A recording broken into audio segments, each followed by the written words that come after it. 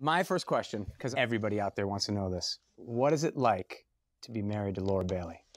Oh, uh, I, I, I'm not. I would love to. I mean, I love my wife, but but well, of course, of course. That's why I'm, I'm uh, asking what it's no, like to be with her. She's not. I'm not married to Laura. Uh, I'm. it's I'm more of a life commitment, or No, I'm married to another wonderful woman. Um, Travis is married to to Laura. not Travis, you're Sal.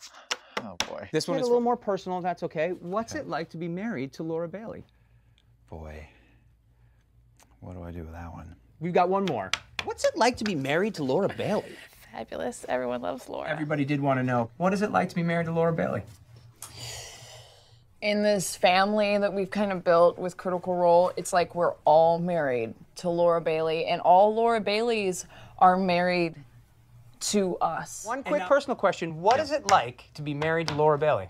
It's its own challenge. So you know who my favorite uh, actor is on that show? Laura Laura Bailey. She's a like renowned video game actress. I think we had Lisa on the show, I, if memory serves. I do. Lisa was on the show. The She's a party girl. Lisa is a is a party. She was Party telling us girl. about doing up the town and living the single life. It gave me hope to think that this might someday be ching ching ching ching. so I'm actually married to Le- to Laura. Uh, I'm that's that's No, my she is single. You know who's married to to, to Laura is um, everybody else.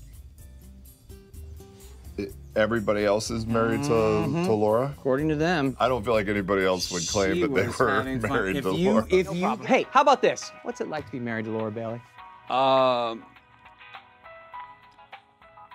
it's mostly graph paper. Honestly, it's a lot. I, Is that a euphemism for no, something? no. We are only married on on on on graph paper. Uh-huh. Not actually married to Laura. Okay, well- she would, and then I would be murdered. Some things are can private. I get can it. get behind that. Game. I get it. I totally understand that. Not a problem. I wonder, wonderful way to come at it. One other question.